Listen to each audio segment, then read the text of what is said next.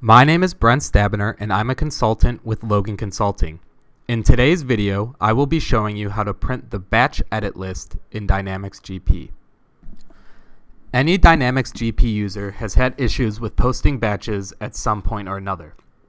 There is a plethora of reasons that a batch would fail to post, including posting to a closed period, debits and credits not equaling each other, and the distribution amount not equaling the actual amount. If a user tries to post a batch that contains any of those errors, the user will receive an error that relates to the cause of it. Regardless of the error, the result will be that the batch must be recovered in batch recovery.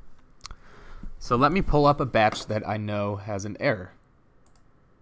Let's go to financial, batches, and this one right here has an error that I know. So I go to post it and look at the posting journal.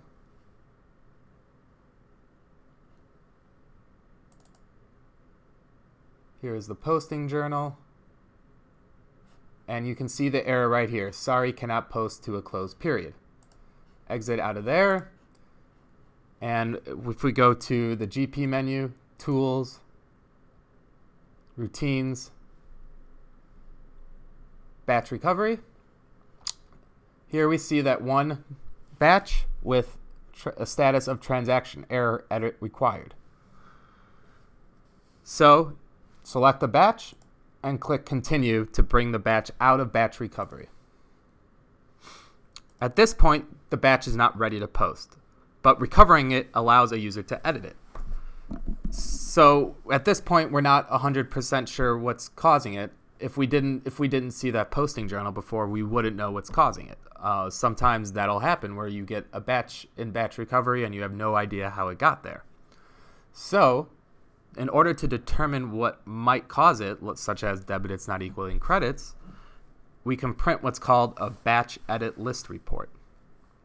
This report will show us any errors that may come up in posting prior to even posting it. The error will specifically describe what needs to be fixed, and you can then print it again and make sure that the error went away after fi fixing.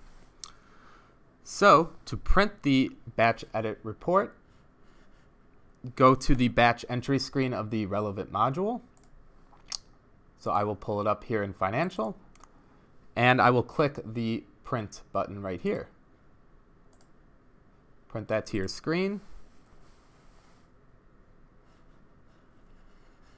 And I have it in a Word document right here. And as you can see, it just like the posting journal, it says, sorry, cannot post to a closed period. As you can see, the transaction date is 12-3-2017 and December is of 2017 is closed.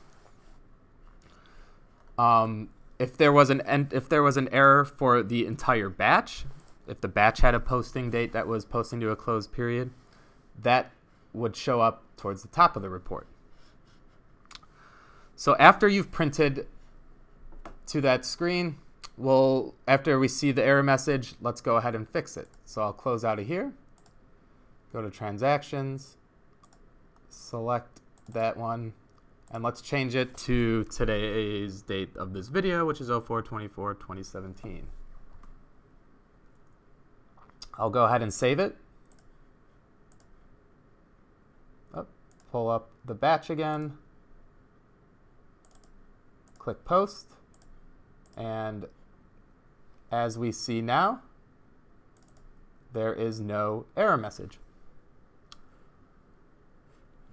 For more information, please visit our website at www.loganconsulting.com or contact us via email at info at loganconsulting.com or via phone at 312 345 8800.